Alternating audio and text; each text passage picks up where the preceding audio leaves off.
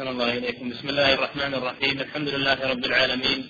صلى الله وسلم على عبده ورسوله نبينا محمد وعلى آله وأصحابه أجمعين.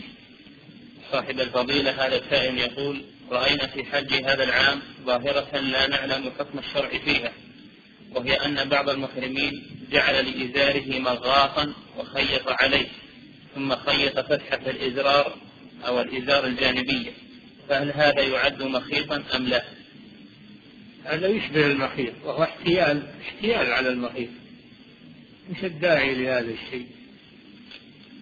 الإزار يلف على أسفل البدن من السرة وما تحت إلى الكعبين من السرة إلى الكعبين.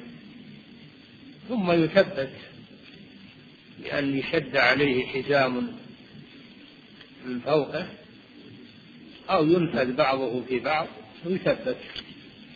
بدون أنه يعمل له مغاط أو ربزة مثل السروال يصير إزار بدل ما يكون بدل ما يكون إحرام يكون مثل الأزر العادية المخيطة مثل الأزر المخيطة أو السراويل.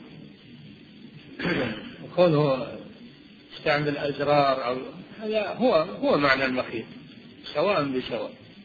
هو بالخياطة الخاصة بالخياطة بالإبر.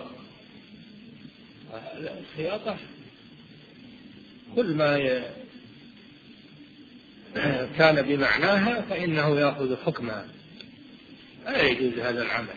وإن نسب إلى بعض من مشايخ الفتوى بذلك هذا غلط. وهذا عرض على هيئة كبار العلماء.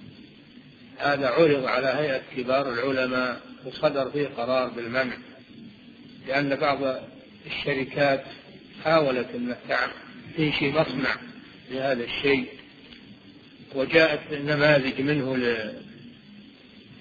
لهيئة كبار العلماء فأصدروا القرار بتحريمه ومنعه.